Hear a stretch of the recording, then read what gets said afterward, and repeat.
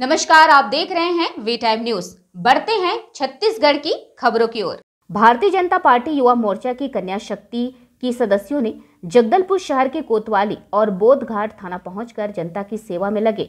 Police विभाग के सदस्यों को राखी बांधा है। आपको बता दें कि जिस प्रकार प्रदेश के मुख्यमंत्री द्वारा अपने चुनावी घोषणा पत्र में प्रदेश की महिलाओं, बेटियों के लिए मन लुभावने वादे किए गए थे, उन सभी वादों की पूर्ति अभी तक नहीं की गई है। इसलिए 7 अगस्त को बस्तर जिला कन्या शक्ति की सदस्यों द्वारा जगदलपुर के कोतवाली और बोधघाट थाने के पुलिसकर्मियों को सामूहिक रूप से राखी बांधकर उन्हें इस रक्षा बंधन में छत्तीसगढ़ की बेटियों, बहनों की रक्षा निस्वार्थ भाव से करने का तोहफा उनसे मांगा है। साथ ही पुलिस विभाग का धन्यवाद भी ज्ञापित किया है। आज युवा मोर्चा की कन्या शक्तियों द्वारा हमने पूरे पुलिस कर्मियों और सुरक्षा कर्मियों के साथ रक्षाबंधन का त्यौहार मनाया।